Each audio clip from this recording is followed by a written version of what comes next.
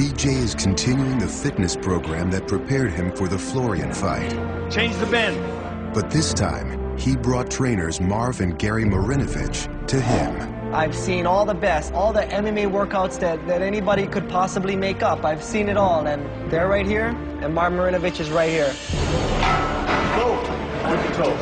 It's a whole philosophy of what they bring to the table that I think makes him excited.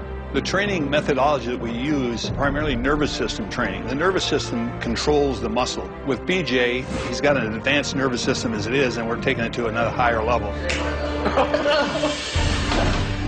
Marv strengthens what's inside the body and what controls your body. It's not that you're souping up your car, you're asking a better driver to come drive that car. Most sport is played on the feet, from the feet up. So we repaired his feet, repaired his hips. That's it. His shoulders and so forth. And from there, he was able to progress. He moves differently now than he did then. He's much more explosive and quick. His body control, his balance, his coordination, his explosiveness, all of that has improved. He can feel the differences and the changes going on in his body that he wants to see what kind of potential he can fulfill. I think BJ has only scratched the surface. It's hard to say where the ceiling is with BJ. If Gary and I had been training him, he'd be undefeated now.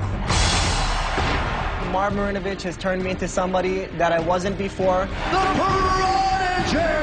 Back in his natural weight class. Back with the trainers he trusts. And free of the internal pressure that constrained him, BJ Penn is finally reaching his potential. BJ Penn had two different belts in two different weight classes. He's got a bunch of money. BJ Penn is fighting for the one reason you should be fighting.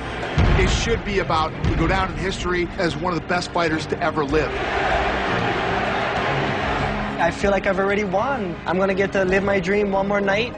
I don't have all that other BS that used to come along with fighting. It's just me having fun now.